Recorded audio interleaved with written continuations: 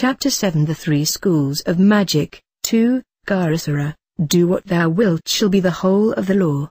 Hoping that you are now recovered from the devastating revelations in the matter of the Yellow School, I must ask you to brace yourself for disclosures even more formidable about the Black. Do not confuse with the Black Lodge, or the Black Brothers. The terminology is unfortunate, but it wasn't I that did it. Now then, to work. The Black School of Magic, which must by no means be confused with the school of black magic or sorcery, which latter is a perversion of the white tradition, is distinguished fundamentally from the yellow school in that it considers the universe not as neutral, but as definitely a curse. Its primary theorem is the first noble truth of the Buddha everything is sorrow. In the primitive classics of this school the idea of sorrow is confused with that of sin. This idea of universal lamentation is presumably responsible for the choice of black as its symbolic color. And yet? Is not white the Chinese hue of mourning? The analysis of the philosophers of this school refers every phenomenon to the category of sorrow. It is quite useless to point out to them that certain events are accompanied with joy, they continue their ruthless calculations, and prove to your satisfaction, or rather dissatisfaction, that the more apparently pleasant an event is, the more malignantly deceptive is its fascination. There is only one way of escape even conceivable, and this way is quite simple, annihilation. Shallow critics of Buddhism have wasted a great deal of stupid ingenuity on trying to make out that nirvana or nibbana means something different from what etymology, tradition and the evidence of the classics combine to define it. The word means, quite simply, cessation and it stands to reason that, if everything is sorrow, the only thing which is not sorrow is nothing, and that therefore to escape from sorrow is the attainment of nothingness. Western philosophy has on occasion approached this doctrine. It has at least asserted that no known form of existence is exempt from sorrow. Huxley says, in his Evolution and Ethics, suffering is the badge of all the tribe of sentient things. The philosophers of this school, seeking, naturally enough, to amend the evil at the root, inquire into the cause of this existence which is sorrow, and arrive immediately at the second noble truth of the Buddha, the cause of sorrow is desire. They follow up with the endless concatenation of causes, of which the final root is ignorance. I am not concerned to defend the logic of this school, I merely state their doctrine. The practical issue of all this is that every kind of action is both unavoidable and a crime.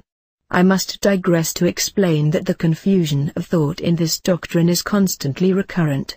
That is part of the blackness of the ignorance which they confess to be the foundation of their universe. And after all, everyone has surely the right to have his own universe the way he wants it. This school being debased by nature, is not so far removed from conventional religion as either the white or the yellow. Most primitive fetishistic religions may, in fact, be considered fairly faithful representatives of this philosophy. Where animism holds sway, the medicine man personifies this universal evil, and seeks to propitiate it by human sacrifice. The early forms of Judaism, and that type of Christianity which we associate with the Salvation Army, Billy Sunday and the fundamentalists of the back blocks of America, are sufficiently simple cases of religion whose essence is the propitiation of a malignant demon. When the light of intelligence begins to dawn dimly through many fogs upon these savages, we reach a second stage. Bold spirits master courage to assert that the evil which is so obvious, is, in some mysterious way, an illusion. They thus throw back the whole complexity of sorrow to a single cause, that is, the arising of the illusion aforesaid. The problem then assumes a final form, how is that illusion to be destroyed? A fairly pure example of the first stage of this type of thought is to be found in the Vedas, of the second stage, in the Upanishads. But the answer to the question, how is the illusion of evil to be destroyed, depends on another point of theory. We may postulate a parabrahm infinitely good, etc. etc. etc., in which case we consider the destruction of the illusion of evil as the reuniting of the consciousness with parabrahm. The unfortunate part of this scheme of things is that on seeking to define parabrahm for the purpose of returning to its purity, it is discovered sooner or later, that it possesses no qualities at all. In other words, as the farmer said, on being shown the elephant, there ain't no sich animal. It was Gautama Buddha who perceived the inutility of dragging in this imaginary pachyderm. Since our parabrahm, he said to the Hindu philosophers, is actually nothing, why not stick to our original perception that everything is sorrow, and admit that the only way to escape from sorrow is to arrive at nothingness? We may complete the whole tradition of the Indian peninsula very simply. To the Vedas, the Upanishads, and the Tripitaka of the Buddhists, we have only to add the Tantras of what are called the Vamacharya schools. Paradoxical as it may sound the Tantrics are in reality the most advanced of the Hindus. Their theory is, in its philosophical ultimatum, a primitive stage of the white tradition, for the essence of the tantric cults is that by the performance of certain rites of magic, one does not only escape disaster, but obtains positive benediction. The tantric is not obsessed by the will to die. It is a difficult business, no doubt, to get any fun out of existence, but at least it is not impossible. In other words, he implicitly denies the fundamental proposition that existence is sorrow, and he formulates the essential postulate of the white school of magic, that means exist by which the universal sorrow, apparent indeed to all ordinary observation, may be unmasked, even as at the initiatory rite of Isis in the ancient days of Khem. There, a neophyte presenting his mouth, under compulsion, to the pouting buttocks of the goat of Mendes, found himself caressed by the chaste lips of a virginal priestess of that goddess at the base of whose shrine is written that no man has lifted her veil. The basis of the black philosophy is not impossibly mere climate, with its resulting etiolation of the native, its languid, bilious, anemic, fever-prostrated, emasculation of the soul of man. We accordingly find few true equivalents of this school in Europe. In Greek philosophy there is no trace of any such doctrine. The poison in its foulest and the most virulent form only entered with Christianity 33. But even so, few men of any real eminence were found to take the axioms of pessimism seriously. Huxley, for all of his harping on the minor key, was an eupeptic Tory. The culmination of the black philosophy is only found in Schopenhauer, and we may regard him as having been obsessed, on the one hand, by the despair born of that false skepticism which he learnt from the bankruptcy of Hume and Kant, on the other, by the direct obsession of the Buddhist documents to which he was one of the earliest Europeans to obtain access. He was, so to speak, driven to suicide by his own vanity, a curious parallel to Kirillov in the possessed of Dostoevsky. We have, however, examples plentiful enough of religions deriving almost exclusively from the black tradition in the different stages. We have already mentioned the evangelical cults with their ferocious devil god who creates mankind for the pleasure of damning it and forcing it to crawl before him, while he yells with drunken glee over the agony of his only son 34. But in the same class, we must place Christian science, so grotesquely afraid of pain, suffering and evil of every sort, that its dupes can think of nothing better than to bleat denials of its actuality, in the hope of hypnotizing themselves into anesthesia. Practically no Westerns have reached the third stage of the black tradition, the Buddhist stage. It is only isolated mystics, and those men who rank themselves with a contemptuous compliance under the standard of the nearest religion, the one which will bother them least in their quest of nothingness, who carry the Sorites so far. The documents of the Black School of Magic have already been indicated. They are, for the most part, tedious to the last degree and repulsive to every wholesome-minded man. Yet it can hardly be denied that such books as the Dhammapada and Ecclesiastes are masterpieces of literature.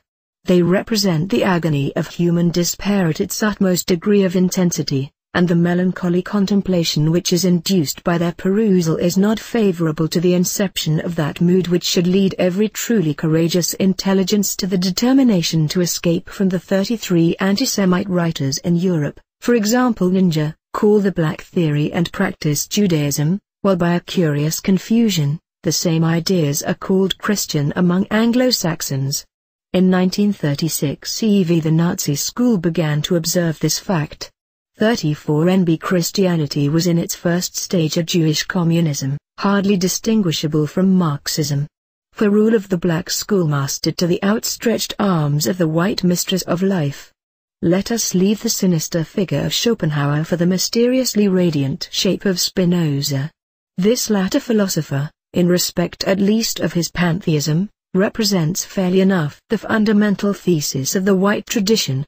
Almost the first observation that we have to make is that this white tradition is hardly discoverable outside Europe. It appears first of all in the legend of Dionysus. In this connection read carefully Browning's Apollo and the Fates. The Egyptian tradition of Osiris is not dissimilar.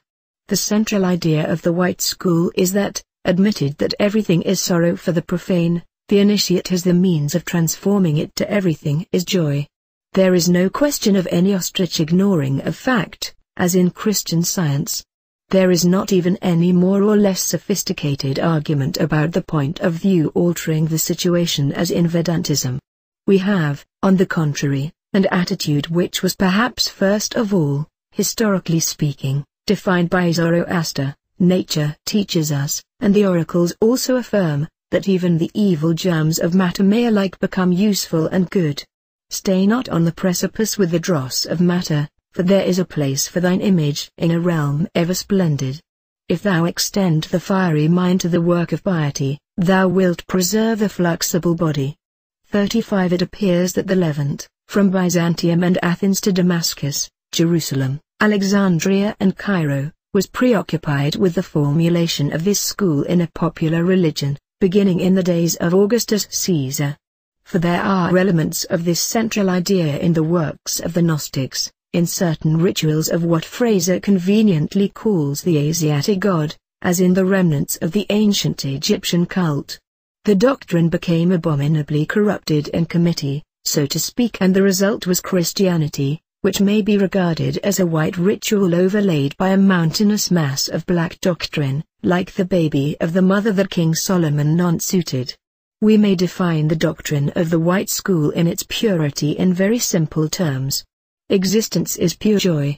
Sorrow is caused by failure to perceive this fact, but this is not a misfortune. We have invented sorrow, which does not matter so much after all in order to have the exuberant satisfaction of getting rid of it. Existence is thus a sacrament. Adepts of the white school regard their brethren of the black very much as the aristocratic English Sahib, of the days when England was a nation, regarded the benighted Hindu. Nietzsche expresses the philosophy of this school to that extent with considerable accuracy and vigor. The man who denounces life merely defines himself as the man who is unequal to it. The brave man rejoices in giving and taking hard knocks, and the brave man is joyous.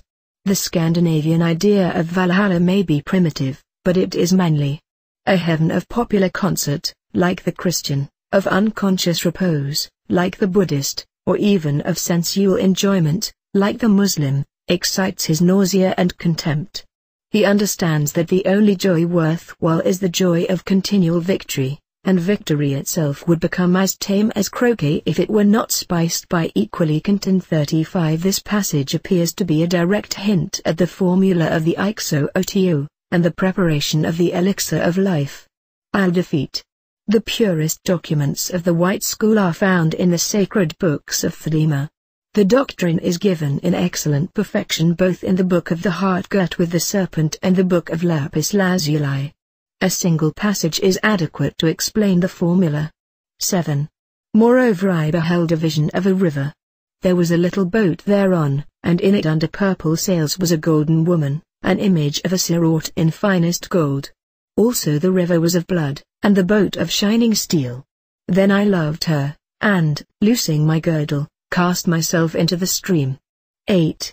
I gathered myself into the little boat, and for many days and nights did I love her, burning beautiful incense before her. 9. Yea. I gave her of the flower of my youth. 10. But she stirred not, only by my kisses I defiled her so that she turned to blackness before me. 11. Yet I worshipped her, and gave her of the flower of my youth. 12. Also it came to pass, that thereby she sickened, and corrupted before me. Almost I cast myself into the stream. 13. Then at the end appointed her body was whiter than the milk of the stars, and her lips red and warm as the sunset, and her life of a white heat like the heat of the midmost sun. 14. Then rose she up from abyss of ages of sleep, and her body embraced me. Altogether I melted in her beauty and was glad. 15. The river also became the river of Emerald, and the little boat was the chariot of the flesh, and the sails thereof the blood of the heart that beareth me, that beareth me. Liber LX v. Cap. 2. We find even in profane literature this doctrine of the white school of magic, dash o Buddha. Dost thou know a pivot for the universe? Must all things be alike confessed mere changes rung upon a curse? I swear by all the bliss of blue my Phryne with her powder on is just as false, and just as true dash as your disgusting skeleton. Each to his taste, if you prefer this loathly brooding on decay, I call it growth, and lovelier than all the glamours of the day. You would not dally with Doreen because her fairness was to fade, because you know the things unclean that go to make a mortal maid. I, if her rotten corpse were mine, would take it as my natural food, denying all but the divine alike in evil and in good. Aspasia may skin me close, and Lais load me with disease. Poor pleasures, bitter bargains, these? I shall despise Diogenes. Follow your fancy far enough. At last you surely come to God. There is thus in this school no attempt to deny that nature is, as Zoroaster said, a fatal and evil force, but nature is, so to speak, the first matter of the work, which is to be transmuted into gold. The joy is a function of our own part in this alchemy. For this reason we find the boldest and most skillful adepts deliberately seeking out the most repugnant elements of nature that their triumph may be the greater.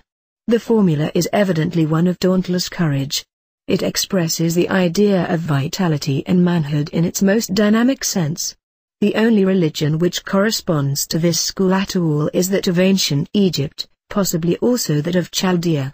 This is because those religions are magical religions in the strict technical sense, the religious component of them is negligible. So far as it exists, it exists only for the uninitiate. There are, however, traces of the beginning of the influence of the school in Judaism and in paganism. There are, too, certain documents of the pure Greek spirit which bear traces of this.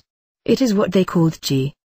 The Christian religion in its simplest essence, by that idea of overcoming evil through a magical ceremony, the crucifixion, seems at first sight a fair example of the white tradition, but the idea of sin and of propitiation tainted it abominably with blackness. There have been, however, certain Christian thinkers who have taken the bold logical step of regarding evil as a device of God for exercising the joys of combat and victory. This is, of course, a perfectly white doctrine, but it is regarded as the most dangerous of heresies. Romans vi.